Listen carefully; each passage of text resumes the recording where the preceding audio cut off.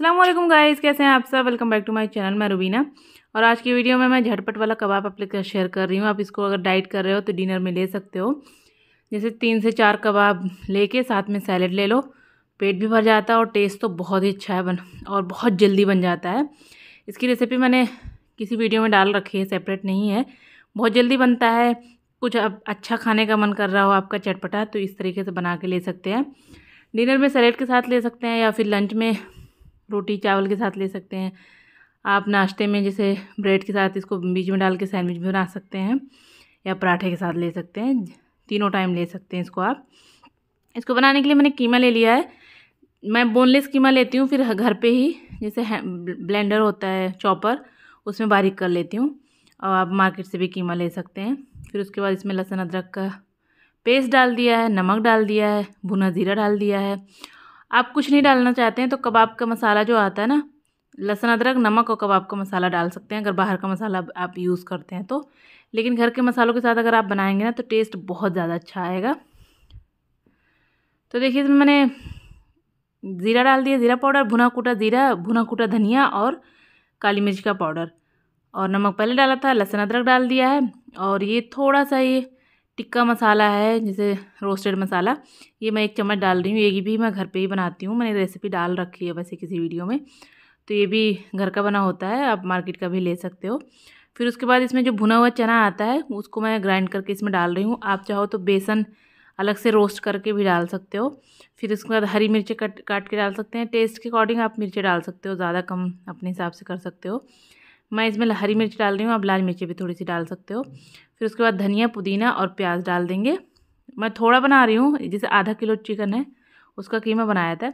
आप इसको ज़्यादा बना के, इसे बना के, उसके बाद टिक्की बना के फ्रीज़र में फ्रीज़ कर सकते हो, जब भी मन करे तो उसको बना के खा सकते हो इस तरीके से भी।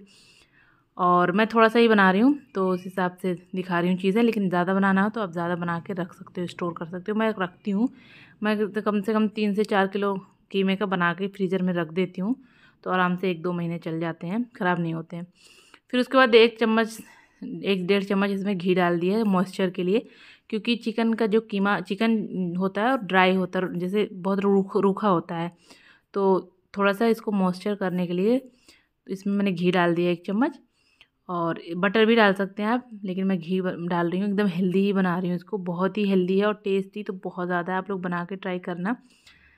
फिर उसके बाद इसको अच्छे से मिक्स कर देंगे। अगर आपके पास टाइम है तो इसको इस तरीके से मिक्स करके एक दो घंटा रख देंगे तो ज़्यादा सही रहेगा, मसाले अच्छे से मैरिनेट हो जाएगा। लेकिन अगर आपके पास टाइम नहीं है तो हाथ के हाथ भी बना सकते हो, ज़रूरी नहीं मैरिनेट करना। लेकिन मैरिनेट करने से क्या होता है, मसाले, सब कुछ चीज़ें, नमक सब कुछ एक साथ मिल जाता है तो और अच्छा टेस्ट आता है, जिसे बन के। उसके बाद इसकी टिक्की बना लेंगे। शेप आप अपने हिसाब से इसको कर सकते हो गोल गोल जैसे मैं गोल टिक्कियाँ बना रही हूँ। आप लंबा भी कर सकते हो और जैसे सीख कबाब के जैसे भी इसको कर सकते हो, जैसे भी सही लगे, लेकिन मुझे यही सही लगता है। उसके बाद कढ़ाई में हल्का सा ब्रश कर दिया है, तेल, इसको आप एयर फ्रायर में भी कर सकते हो, या फिर जैसे तंदूर में भी कर सकते हो, एकदम हेल्दी बेगर ऑयल के। देखिए, मैं भी नाम का ही ऑयल लगाई हूँ, बहुत ही कम। तेल भी ऐसा नहीं है कि बिल्कुल छोड़ना चाहिए, खाना चाहिए थोड़ा बहुत, लेकिन बहुत ज़्यादा नहीं, कि तेल में ही तेल में नहीं तलना है, बस आप थोड़ा सा कढ़ाई में लगा के उसके बाद इसमें लगा के दोनों तरफ़ से अच्छे से सेक लो। और बहुत अच्छा टेस्ट आता है, आप लोग बनाना ज़रूर, फिर मुझे बताना। और बहुत जल्दी बन जाता है, आप लोग देखें कितने जल्दी बन जाता है। टाइम बिल्कुल नहीं लगता है, क्योंकि और भी कबाब हम बनाते हैं तो उसमें बहुत टाइम लगता है। इसमें बिल्कुल नहीं टाइम टाइम लगता है, एक झटपट बनने वाली चीज़ है। कभी भी आपका मन करे तो बना के इसको खा सकते हो। बाकी स्टोर करने का बहुत अच्छा तरीका है। जैसे मैं बना के रखती हूँ तो मुझे पता है कि मैं इसको दो तीन महीने चला लेती हूँ। मैं अगर ज़्यादा बना देती हूँ ना, फ्रीज़र में बिल्कुल नहीं ख़राब होता आप इसको जिप लॉक में टिक्की जैसे फ्रीज कर दो, उसके बाद जिप लॉक में डाल के आप फ्रीज़र में छोड़ दो। दो तो दो तीन महीने आराम से चल जाते हैं, बिल्कुल भी टेस्ट नहीं बदलता, ख़राब नहीं होता। जब भी आपको खाना है, डिनर में खाना है तो सब्जियों के साथ सौते करके ढेर सारी सब्ज़ियाँ ले लो, सैलेड बना के खा सकते हो। लंच में ले रहे हो तो रोटी चावल के साथ ले सकते हो, जैसे कि मैंने बताया है, और फिर बाकी नाश्ते में तो पराठे के साथ बहुत अच्छा लगता है, या फिर सैंडविच बना के ले सकते हो, जैसे भी आपको सही लगे। आपको वीडियो अगर अच्छी लगी होगी तो लाइक करना, शेयर करना, अगर आप लोगों ने सब्सक्राइब नहीं कर रखा है तो सब्सक्राइब कर लेना। मिलती हूँ अगली वीडियो में, अल्लाह हाफिज़।